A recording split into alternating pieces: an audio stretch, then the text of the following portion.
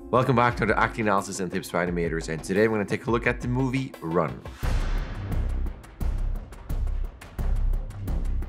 Love this movie, a lot of cool stuff. I have a lot of sequences I want to talk about, but before I do, if you're new to this channel, hi, my name is JD, and I do acting analysis clips like these. I do animation analysis clips, I do product reviews, rig reviews, lectures, feedback. I post all kinds of things. So as always, this is the YouTube page. Feel free to browse around. If you like it, subscribe. If you don't want to subscribe, that's fine too. It helps my channel grow if you do though. But that's it for the pitch. Let's go to the sequences. First up, we have, this is the beginning of the movie. We have her coming in and all I want to show is what these characters on the side are doing.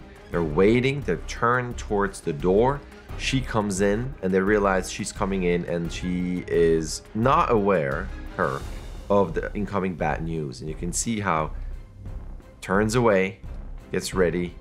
You can see the other characters here, hands together, getting ready, kind of sort of turning away. You can see this how they turn just because they know it's coming can see all of that so that the whole focus then ends up being on her getting closer to the impending bad news. So it's not just about the main character. Obviously, this should be focused when you animate, but you can have side characters, you can have props, whatever you have that can kind of re-emphasize a certain moment or also kind of prepare the audience for something else. This all kind of gives us an impression of, hmm, something is about to happen, which then happens right there. And actually, we continue with this.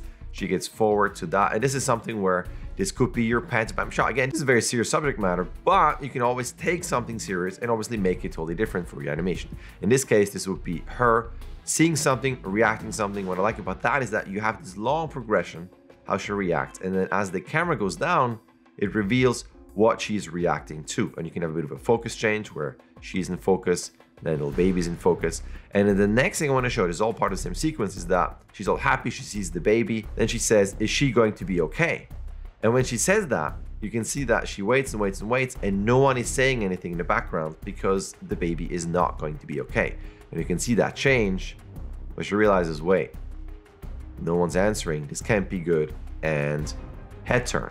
So for you, this is something where if you do have lip sync and the character is asking a question, you don't have to stop the shot once the lip sync is done. This is something I'm repeating a lot in this series. And in this case, you can have the character wait, wait, wait, and then react because no one is responding to her question. I think this could be also a really good addition to your shot where it's not just lip sync, but then you go into your creative pantomime acting because that's not part of the lip sync. Next up is totally different and it's finger acting. And I like this how we have that box first, right? This tells us, okay, tissues, feel better. This must be something bad or sad. And then you have the hand coming in and the hand bringing the box into the character. I like how we follow this box is also super important. And it's all about finger acting here. I love this, how she is moving all this. You can see that little wiggle in the fingers as she grabs the box and grabs the paper here, tissue paper. You can see how much the fingers are moving. She's very nervous. There's a lot of agitation there. And then she continues into actually pushing this away. And in the line, she says something, I'm paraphrasing, it's going to be okay. I can fight through this. It's going to be okay. But you can see all the nervousness, you can see all that business. And what I like about this is that when she says, I'm gonna be okay, you can see all that, that you know, all that movement here, the fingers, and she has this, I can fight through this. And it's as if now all of that is gone. It's a very decisive fist and gesture or just kind of a pose. I'm gonna be okay. And the moment she says that, she goes into beep, that and that. So there's just that short moment of I'm to be okay. I can do this. It's very decisive. They're separate. They're, they're fish on the table. Ah, I can do this. But within half a second, she says again, but I don't know, I don't know. And then you can see that all the nervousness comes back into the fingers. I think this is really cool. I'm not sure if you want this on your reel, just the finger acting type of thing, but I like this in addition to her shot. Just as always, every single little detail counts. So think about that when you have characters where you see the fingers. What could you put in there to kind of emphasize certain moments, or in this case, you know, resolve, and she has decided, and then she breaks that by doing this. Also like how this continues, by the way, and we continue here. They're grabbing tissues. I like how they go about it, right? So we follow this, let's go forward here, and this person grabs one and hands it over. Then this character grabs one, brings it over and goes, nah, I need more. It's going to be sad. I need more. Again, just kind of, we don't need to see the face. We don't need to hear anything, but we understand what's going on there. And then for the whole contrast, because everybody is grabbing this and is sad and you know, they're talking about all of this, this character actually doesn't take it, but brings it over to the main character. And here's the reveal. Dun, dun, dun. I'm on the phone. I don't care what any of you are saying And I love that. And this movie has a lot of just a lot of reveals, camera moves, and things where we are seeing a reveal of a specific situation or a character. There's more about that, but I love that too, where then we can see the character and then she talks blah blah blah blah blah. But think about that. If you do have a camera move, you can use that to reveal certain things for comedic value to show contrast how everybody is involved in this and being sad and not involved at all because she's thinking about something totally different. And I'm actually going to continue with this. This is later on where she says it's going to be just fine, blah, blah, blah. My daughter's just fine. And then it's this gesture at the end. That. And I like this because it's everybody is using the Kleenex. They're all they're all sad, they all need it because they're crying. And Paris just, I don't need this. Here, go take it. I'm gonna be just fine. Go on. And again, this is if you have a prop, and especially if other characters have used this prop in a specific way, you can use this in a complete opposite way, whatever you want to do, but it can re-emphasize her stance of, I don't care, I don't need this, I'm strong, my daughter is strong, here, take this, move on. I just like that moment. Now, moving forward a little bit, as we are revealing the daughter, she's here preparing food. You can see this all healthy, all healthy.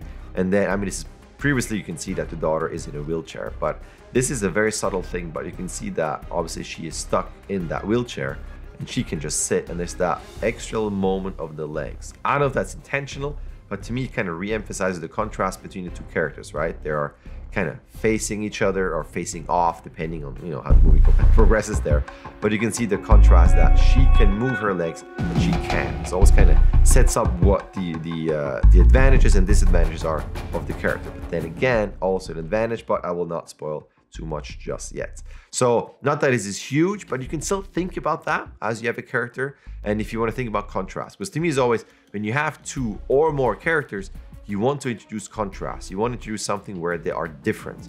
And this is very subtle, it's underneath, it's right close to the edge of the frame, but it's still something that is different compared to this character. So just think about those details. How can you add things, be it in gestures, in movements, in poses, in props, that'll give us some interesting contrast so that they're not all the same and mushy and we don't we don't really understand where the differences are. This sequence goes into what I said before about reveals and clear cuts and imagery. Like I like this a lot. This movie is, has a lot of that where you can see all the props, very busy, lots of stuff here. She's studying, clear pose, clear composition. It's all really nice.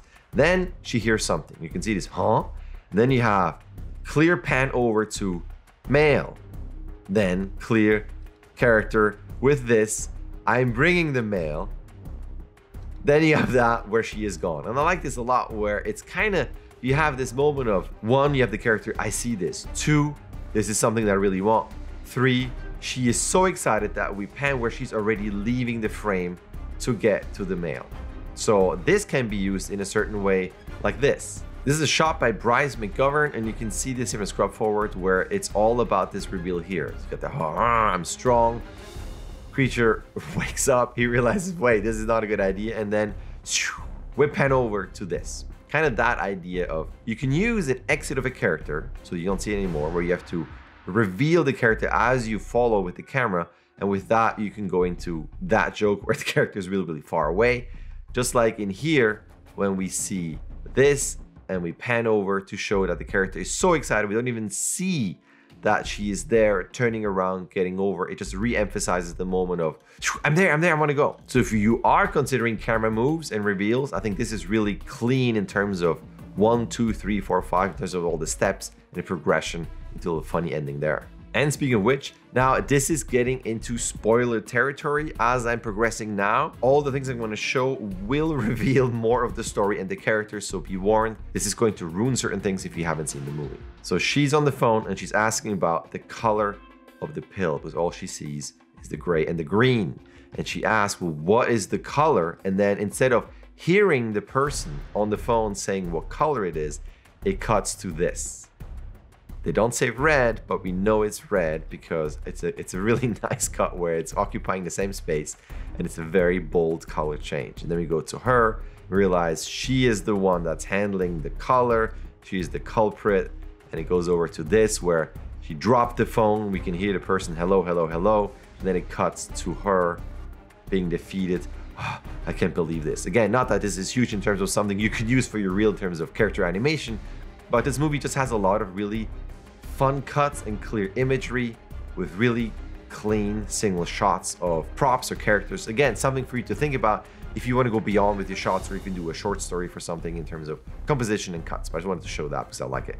And here's another one where this is the beginning of the movie, where it will reveal the baby, and then it cuts towards the ending of the movie, where we can see her again. It's very, very similar. And as it goes forward, it will reveal the character here. Again, spoiler, but something I wanted to show, something I like a lot when we have repeat images or foreshadowing or a preparation, whatever it is, but I like that. And the movie is full of that stuff.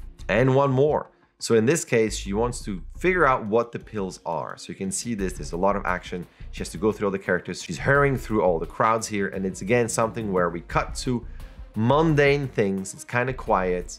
And then, da-da, reveal the character, including the music, which I, can, I can't play here, but I love this. It comes in a lot of energy there. And as she goes through, you can see foreground elements giving more energy. She goes this way, foreground element goes this way, creates a lot of energy. And then we can see wipe reveal to a long line that makes her wait. And again, I love that. It's at that big, big element here that hides everything for a more extra push on the reveal. I like that. And then as she, she realizes this is not a good idea, you can see all the, the fluttering, the thought process there. You can see her eyes and the eyelids here, lots of little half blinks. Oh man. And to re-emphasize that, she looks we have the main character, the main person here for while everybody's waiting. She's on the cane here, she's pushing on the cane. It's just the imagery of this is an old person. We don't see the face, but this tells us enough. The, the hunched over position, this with the cane. This is going to take a long time because this is an old person. Again, a lot of really clear imagery right off the bat, which for you again goes into just clear posing and silhouette. You can see also the bright color, bright color in terms of the white, and in a darker color for really clean silhouettes. I just love that. Again, we're getting more and more into spoiler territory. This is a great moment where we think she's on the phone, right? Because she has her arm up here and she talks to herself. I mean, to someone, right? But she's talking, she's alone. And with that arm up, we are thinking, well, she must be on the phone. And then as she keeps talking, she does this. And then she keeps talking too. So you realize, wait, why does she keep talking oh, and then she does this, and she's got the little face, and it's a longer sequence, but you realize that she is rehearsing. She's rehearsing what is she what she's about to say. And that's such a cool moment. I love that. We as an audience, we were thinking, well, it must be the phone because she's by herself talking with that pose. And then this change reveals, oh, she's actually not, oh, she's pretending, she's rehearsing. More of a reveal of how far this character is going to go to do whatever. Again, I'm gonna say too much spoilers, but this is really cool in terms of expectations, what the audience will think and how you subvert that and how you change that and how it changed the whole situation, how it changes how we perceive this character. Just a cool little moment there. This is a bit more traditional thing where this could be a kind of a gear change as a classic exercise in animation. She's doing this, as you can see, like, she gets frustrated and goes back. And she is not able to do whatever she needs to do on the laptop. Again, not too many spoilers. And this is a classic thing where she goes, ah, there's a lot of agitation, right? You can see head move over there, arm move goes over there. There's movement with the fingers. Like there's a lot of movement here, right? She goes back down, moves over, and now the arm comes back up here. A lot of things. And here's the contrast. After all of this, you can see some movement in the hands, eye darts. Then she realizes, wait, I have an idea. And right there. And that's the thing I want to show. So if you have a thought process, you can find a way to show contrast in terms of I have movement, head is moving, body is moving, arms are moving, hands are moving, fingers, eye darts, all that stuff. And now you want to show, wait, I made a change, bam, stop all the movement. Now, this might, again, this might be basic for more advanced animators, but if you are doing this as a student, think about that. Think about the contrast in posing, but also contrast in movement, because you don't see too much here in terms of legs or anything else. All we see is this. So what could you do to show that there's a change, a change in thought? So you have all of that. You can imagine she's thinking a lot and that is externalized in her movements and the hand moves and eye darts. She's processing things, a lot of movement. And now I have found an idea. It's a singular thought and that makes the character stop everything. And then you can see this, oh, blink. Yeah, I can do this slight progression and movement going forward to the laptop to do something else. Now we're really getting into spoiler territory. This is kind of towards the end. But she is talking to the doctors. They won't let her to her daughter. There's a bit of a problem. And what I love about this is this whole setup. So she is there incapacitated. Here's the nurse.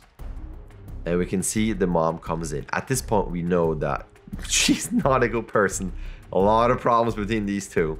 So she comes in as the worried mother, and that triggers quite a reaction in the daughter. But she can't do anything, right? She's stuck, she can't say anything. It's a horrible position to be in, seeing that the dangerous mother, shall I name it like that? The dangerous mother is right there. You can see that that reaction. Oh no, no, no. And then I love this part. This is why I'm to show it to you. So she looks at the daughter and has that compassionate hand on the glass. I wish I could help you. And then you see the turn towards the nurse. And it's almost creepy how she slowly goes eyes first over there. But it's still a broader move with the hand. And then as she looks at that, she realizes, huh, I can do this. I love that. It's almost as if her eyes are sneaking. This just makes it, hmm, kind of schemish. Oh, I could do something here. And that definitely triggers this reaction. oh no, oh no, you can see the breathing here gets more intense. And then she exits to do whatever she needs to do. And then the camera will turn and then re-emphasize that and so on and so on. Really, really cool moment. And for you, really, it's, it's less is more. In terms of animation, this is not complicated in terms of the mechanics, right? It's just a head turn and then just a dart. But I love this, that, that whole thing of a lot of body movement, the arm, and then what's over there? Ooh, I could do this. And to me, like I said, this, to me, this is like the eyes are sneaking. She doesn't want to do, you know, too much noise, any type of movement. She just has a little quick thought process of, oh, oh yeah, and I love that. So a lot of things covering acting choices, but also a lot of moments in terms of composition and camera reveals. Because as you are continuing your animation journey, you might be really good at body mechanics and all the acting stuff. And now you want to open up the shots. You want to use cameras. You want to use cameras to give the character more room to go somewhere, to reveal something. So I thought this was a really cool movie in terms of clear imagery and having very clear camera moves, like I said, to reveal certain things that tell us something about what the character wants, something that a character sees, something that a character reacts to, or something that we as an audience are supposed to react to where comedy is heightened and so on and so on. I thought as a, as a whole movie, I really, really like this. And I'm curious if you watched this, uh, let me know in the comments what you thought about it. Apparently it did really well on Hulu. It's on Hulu if you want to watch it there. Link in the description with all the information about where you can find that. Speaking of finding, if you found that interesting and you want me to help you with your shots, you know the drill at the end. I do have workshops so you can send in your shots. I can critique them. I can help you make your shots even more awesome. So you can sign up for my workshops at any time. Again, link in the description with all the information if you want to check that out. And that's that. Thank you for watching. This is the end. It's a longer clip, but if you spent that whole time watching the whole thing, thank you. You know I'm very appreciative of your time that you spend on my channel. And if you like all this, you don't want to miss any of the other uploads that I have, you know the pitch. It is YouTube. Like and subscribe. It helps me grow my channel and get it seen on the uh, platform that is YouTube. But that is that. Enough of pitching. I will end this. Thank you for watching, and I will see you in my next upload.